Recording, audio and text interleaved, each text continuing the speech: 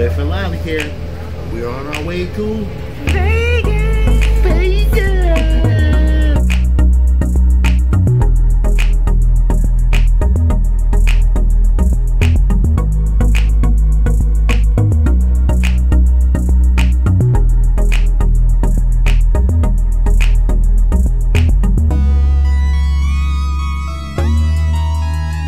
Hello everyone, welcome back to our channel, Smif and Laly.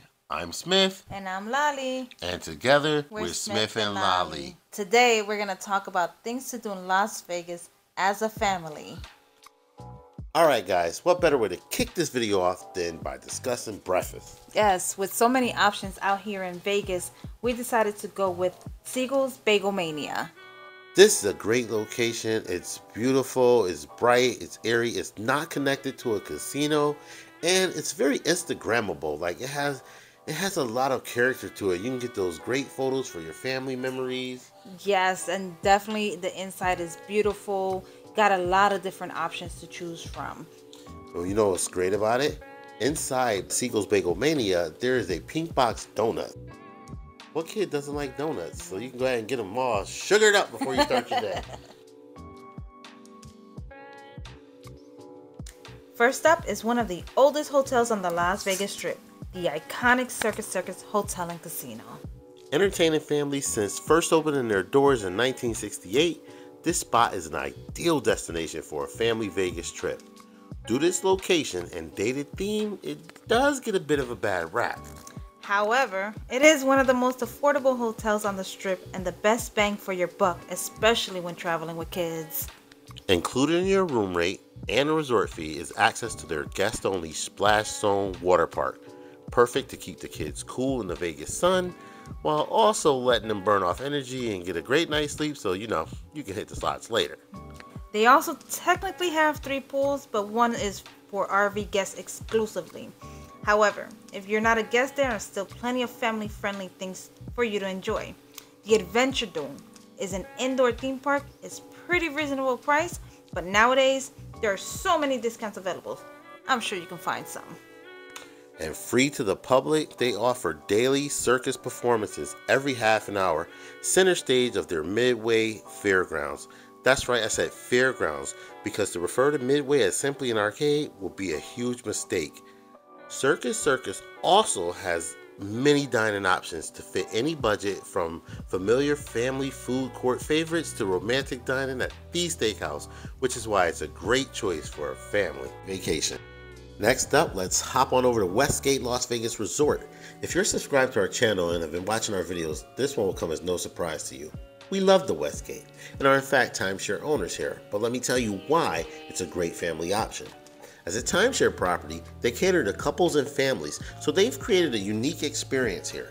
Sure, they have an arcade. It's nothing too fancy, but it's bright, clean, and has a decent amount of gaming options to choose from. Plus, it's in a completely smoke-free part of the casino away from the gaming floor, which is a huge plus. Laly, the kids, and myself did spend a good couple of hours there actually having fun.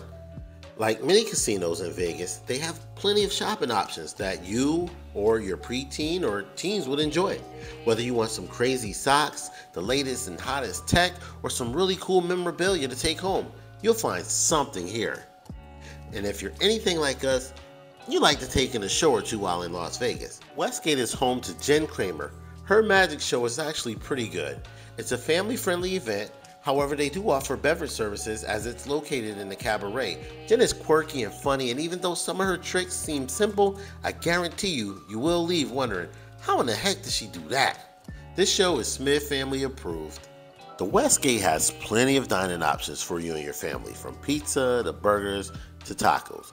However, if you want to entertain the kiddos, I'm strongly going to recommend Benihana. First, it's a beautifully themed Asian inspired little village from its koi pond to the water features. You're going to love the aesthetics of the place. It's two stories. Downstairs, you'll find your sushi, robata, and more, while upstairs is where you're going to find the classic Benihana hibachi experience. One of the things we like most about this property is that even though it's an off strip resort, it still manages to keep you connected. The monorail offers you air conditioned fast travel to several properties along the strip. Plus, the kids will get a kick out of hovering over all the cars. Heck, you can even get a couple of all day passes and just ride the monorail for a quick, cheap tour of Vegas. Now, like Circus Circus, Westgate offers free parking, but that's not the case with many properties on the strip, and parking fees can catch up to you. Well, Westgate offers a free courtesy shuttle that will take you to the strip, the other Westgate property, and Fremont Street, but not the airport. They don't have an airport shuttle. I don't know why. They also offer one of the most family friendly pool environments in all of Vegas. The moose head shaped pool is deceptively larger than it appears. Surrounded by cabanas and day beds, there's plenty of room in and out of the water to relax. The max depth is around 5 feet. However, there are typically at least two lifeguards on duty. The pool, bar, and grill is a must try. Great food and even better drinks. For our third recommendations, we have chosen the Orleans. We've already done a complete in-depth video on this property, so definitely go check that video out. But here we're just going to highlight some of the things that make this great choice for families. There's going to be a bit of a theme to this video if you can't already tell. Arcade. Let's face it, Vegas is one giant arcade for adults, so it's only fitting that the kiddos get to game out as well. Welcome to Timeout Arcade at the Orleans. This arcade is a bit bigger than the one at the Westgate and has a few more gaming options. Fully loaded with some classics and current hot games for your amusement. We enjoyed this arcade so much that even though we weren't staying here, we returned on three separate occasions and had a blast each time. The arcade is located just outside the Century Orleans movie theater on the second level of the casino. At one time, they also had the Kids Time childcare area, but rumor has it they have since closed it down permanently. Hopefully, it will return one day because it was huge and amazing. The Orleans Bowling Center is your best bowling bet for quality family time. Beautiful location with 52 lanes means there's plenty of room and you can bowl as much as you like. They have a snack bar, buffers, and a ball chute so even the littlest bowler in your crew can join in on the fun. Last but not least, the food. Anyone who has ever done a family trip knows kids can be picky and unpredictable. So choosing where to eat is a major point to the happiness level and budget. The food choices at the Orleans range from familiar spots such as Fuddruckers and TGIF to more refined dining experiences.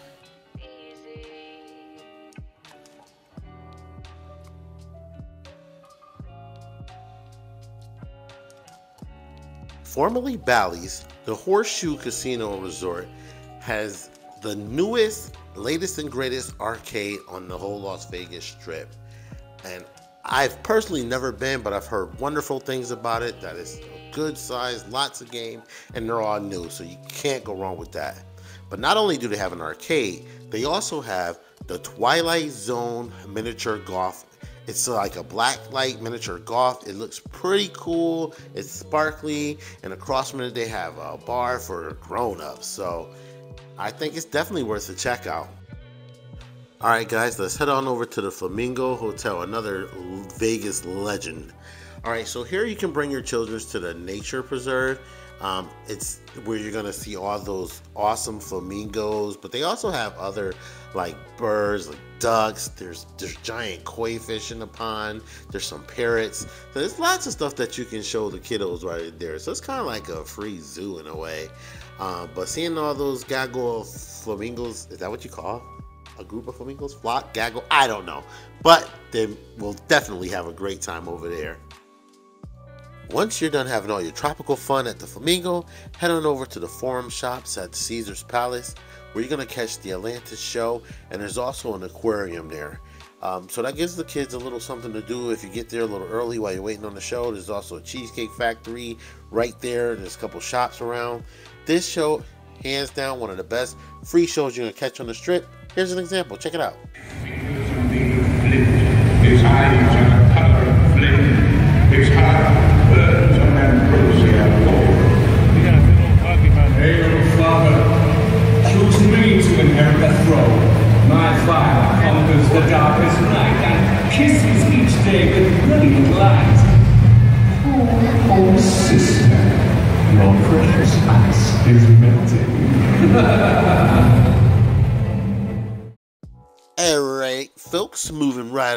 Sticking with our Vegas Strip icons, we're going to head to New York, New York, where you can catch the Big Apple Arcade and roller coaster.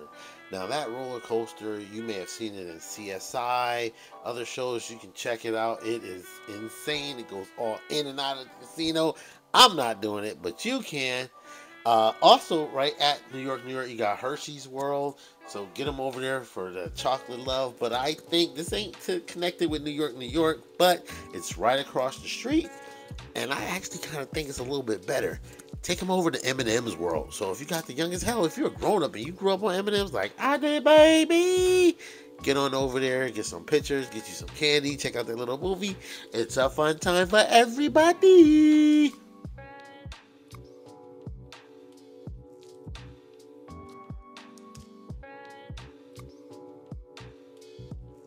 And if Hershey's World and M&M World didn't satisfy your chocolate DNA, well, you're going to get yourself over to Ethel M's for that gourmet stuff, baby. So they have the chocolate factory, plus they have a cactus garden. It's beautiful. It's fun. You're going to get yourself a free sample of chocolate anyway. Um, they even have like drinks for adults, and they have like a like a what do you call it like a, a, happy hour and stuff but so check that out but then definitely take the kiddos outside let them see that good old nature man it's, it's beautiful you can't go wrong with the cactus garden it's a great stop and what good is taking your family to Vegas if you're not going to swing by the world famous Las Vegas sign? And hey, while you're there right across the street, guess what? The Pinball Hall of Fame, baby. You win a couple of quarters, you having fun all day hundreds of games in there. We had a great time. Me, my family, my kids. I highly recommend it. Old school stuff. It was great to share the experience with them. But if you keep going further down the strip, you're going to come across the Silverton. Now, the Silverton is another resort and casino. Technically, it's on the strip, but it's off the strip because it's far away from all the other hotels. The Silverton is a huge, beautiful property with lots of food options and other things. But what's fun for the kids, they're connected to Bass Pro's shops. Now, this Bass Pro shops is an outdoors world and it has all types of cool stuff on the inside. I highly recommend you check it out. But even better at the Silverton, than outdoor world, you got the mermaids. So boom, another aquarium. But this one, like I say, you have mermaids. That you're gonna do the stingray feedings. It's a beautiful tank. There's a couple of sharks in there. Our kids had a good time. They enjoyed it. The mermaid show was cool. I'm not. I don't list times and things like that because I'm sure they they can change. So I want you to be able to go there and check it out for yourself like I said, guys, the kids they had a blast enjoying the aquarium. Like they're gonna feed the stingrays for you. They'll teach you some stuff. Like there's a guy, an actual diver in the tank, and he's like telling you all about the different fish, the tank itself, how they treat the water. It's actually pretty interesting. The kids were totally into it, and it's huge. Plenty of spots to see and stand. It go it goes around like a full circle, so it's worth a check out for sure. It's just outside this large sturgeon habitat uh, in front of the outdoor world, which also has a, a couple fish tanks inside as well. So definitely check it out. All right, guys, time to jump over into light speed and let's get over to Area 15. Listen, if you have never been, you have got to go. Families, couples, single. I recommend everybody swing by Area 15. There's a ton of stuff to do. Uh, like I said, go in the day with your family because uh, that's that's the best time for families to get there. The children had a good time. Lots of cool stuff to see inside and out. At night, I believe after 10 p.m., it pretty much turns into like an adult playground, and it gets a little bit uh, cooler for us grown folk, you know. But even in the daytime, they have the liftoff lounge there. Uh, it has a, a, little ride that rides up and down, and of course, you can get drinks and stuff. They have a little cornhole seating area outside. You get to sit on these giant uh, cornhole bean bags, and you can play the cornhole. But the real the goods are inside. Again, if you've never been, I highly recommend you go here. It's it's worth it. It's not too. It's free to get in Uh, but if you want to do anything, it does cost money to do some of the activities. However, there's places to shop, places to eat. I'm not going to go into the details of Omega Mart. I'm sure you have seen it. If not, be surprised. I'm just going to say this: it is 100% worth it. I loved it. My family loved it.